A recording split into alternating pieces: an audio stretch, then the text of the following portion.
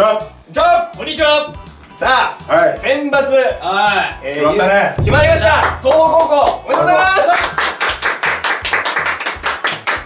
はい、はい。決まりましたまあね強かったね。強かったっすよ。予選つけなかったっすね。はい。俺の中では、はい。そんなに目立ってなかったんだよね。あ東北高校自体が大会の中で。あのね東宝って俺のイメージでは、はちょっとひ弱な感じがしてたんだよおおだけどこう一戦ごとに強くなっていくというか、はい。地には足がついてるっていうか、なんかそんな野球だったうね、それよりはやっぱこう最初に言ってた札幌大谷だとか、はい。まあ、神宮大会で優勝した、はいこれなんかジンクスがあって、勝ったところは甲子園甲子園に出ても勝てないというかね、そうっすなんかねジンクスがあったりだとか、でもなんかこう広陵がよく見えたりだとか、はい。まあ、星稜に目を引かれて、うん。東宝っていうのはダークホース的にしか見てなかったんだけどやっぱ強かったな。いや強かったっすね。強かったっすやっぱスターがいるな。いますねあの大黒柱が。はい。石川。石川君だから最最後の決勝もうん。2本のホームランと完封完封して97球100球いか。ず97球3安打完封でもああいう舞台で最後の最後にそれまでそのバッティングっていうのはそんなに目立ってなかった。あはいああんまり打ってなかった。だけどここでやっぱり決めれるっていうのはスター候補だよ。これでもうドラフト1位は決まったな。あそう決まった。もう中日のユニフォーム見えましたね。まあまあ中日でもどこでもいいよ。行ってくださいいや いやほんとほんとあプロ行けいばやでも地元の選手だったら地元で活躍するっていうのが一番愛されるしいいまあと思うそうですよね。だからもう中日ドラフト1位おめでとうございます。まあでもはい平成元年はいこれまあ東宝から始まりそうなんですよ最終年はい平成の最終年東宝で締めたというなんかこれいや何なんだろうこの巡り合わせっていうのはなんですかね。やっぱそういう怖いな。はまあ習志野の健闘もはい。習志野こそダークホースが目立たないいや本当にそうですね。まあ星稜と当たった時に負けるかなという。はい感じがしたけど、はい。だからいろんな疑惑があったよね。そうですね。結構さサイン盗みって。一番騒がれたんじゃないですか？いや。でもね俺モラルの問題でさ、はい。モラルっていうのはまあイコール常識みたいな感じがあるじゃない、で人の常識っていうのはちょっと違うじゃない。はサイン盗みまあ確かにしてるかもわからないけどどう思う？複雑でしょ？複雑っすよだねから勝負っていう風になってくるとさ、は何をしてでも勝っていいっていうような、うん。そういう常識みたいな、い。絶対勝ちたいという、は今までの努力を報えるためには勝利しかない。だけど一つのそのモラルっていけばい。ややっちゃいけないことなのかなっていう心が揺らぐじゃない。これはやっぱ難しいよ。だから結論から言うと俺はありだとなるほど。うん。これはは松坂と対戦した PL の師匠が言ってたけど、はい。い、や松坂の球種は全部分かってたと。でサードコーチャーからバッターに教えてたっていうのをこれ NHK のドキュメンタリー番組で言ってたからね。それでも勝てなかったから松坂がすごいということでそのモラルは封印されたけども、うん。でもこの星稜に勝っちゃったじゃない。はい。習志野が。はだからそのモラルを問われてるんだと思うけなるほど。だから俺は別にいいことだとは思わないけども、はい。そういう勝負のことで相手の弱み好きうん。そういったものを取り入れて勝負をするっていうのは決して悪いことでもないと。うんなるほど。やってるかどうかもわからないでしょ。いやもうわかんないっすね。実際はそうですねわかんないですね。だってプロでもあるもんあやっぱり。プロでもあるあるんですか？俺はあの、優勝したチームの、はい。あー昔ね、はい。優勝したところがあってまあもうどことは言わないけどさ、はい。一つ先輩なんだけど一緒に飯食った時に豊かサイン盗みはしてたって教えてくれたんだよ。やっぱりって 言って。だけど豊かなって1年間戦ってきて優勝してみってお前たちってやっぱ人生って野球って変わるぞって感覚があって言われたことがあるそれかけてるっていうことですよね。だけど今となっては太陽ってそういうことが全くなかったんだよ。疎かったおの本当に、はそういうこと一回もやらなかった。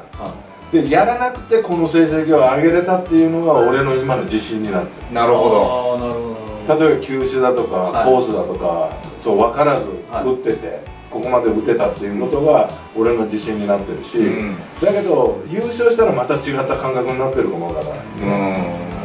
だから小葉さんが来た時に広島から、そういう提案をしてきたんだよそういうの入れないややらないやらないでサー。ドコーチャーから出すとかさ、は右バッターは一塁コーチャーから出すっていう、そういうのがあったんだけど、はい。集中できないんだよ。ああなるほど。こんなやってピッチャーカメラの方がピッチャーだと思ったらこうやってサードコーチャーの方見なきゃいけないからもう集中できないと思ってやめたの俺は。なるほど。へでみんなやめたえー。一回はじゃあ取り入れたんですか？うん。やろうとした。やろうとしてでみんなやめた。まあだからモラルの問題もあるけども、うん。でもそういうのっていうのはさ好きとか、うん。まあ例えばそのチームの伝統だったりとかね、はそういうのがあの息づいてるのかもわからないし、うん。だからどうやって出してたかっていうのを教えようか。えまあ例えばランナーセカンドランナーになるじゃん俺が、はでキャッチャーが一塁が向くじゃないそしたらこっちをちょっと気にするとかね。こうやって。あこうやって。そしたら外だよとか。あインコース構えたらこうやったりとか。それとかこうやって構えたら手をこっちが外すとかね。はいはいはでこっちを外すとか。いはいはい。でインサイドに構えたらちょっとこうやってちょっとリード取るとか。そこっちだったらちょっと戻るとか。はそういうちょっとした細かい動作なんだよいえだから審判から見えるんだよね。まあそうです。まそうか。あ入りますもんね別に。ねはいはい。だからそこはね下手だったと思う。あいろんなやり方あるからわからない、それ審判にバレたら注意されますもんね。うん、だから、はい。それが本当にサイン盗みなあのか分かんっていうこと。ないですもんねそれが。そうっすよね。疑いだよ。だから君はい。万引きしたねって言って、はちょっと調べるよって何にも出てこないのと一緒だよ、ででも万引きしたねってずっと言われてるみたいなことそうまあそういうことですよね。ちょっとこの問題はね非常に難しいけどまあそうですねまあモラルだよね、はい。モラル。だけどみんな勝ちたいと思ってやってるよね。はい。でね名門校だとさいろいろプロからの先輩たちいるじゃん、そういう話も多分聞くんだと思うよ。まこうやったらあ大体コースぐらいやったら山張れるんじゃないかとか。だってバッターだってさこうやって構えててこうやってキャッチャーのもこうやって見てるやついるからね。動きを。ね。もうそれも一緒じゃねえかっていう話だからどこまで規制するかっていうのは難しい。まあ。まあでも習志野が一つ一石を投じたといううん。ことでいいんじゃないのかなと思うけどね。だから他やってる子がたくさんいるよ。そうっすよね。で細かいところだったら、はもうじゃあピッチャーが投げる癖そういうこともダメなのかっていう話になってくる。うん確かに。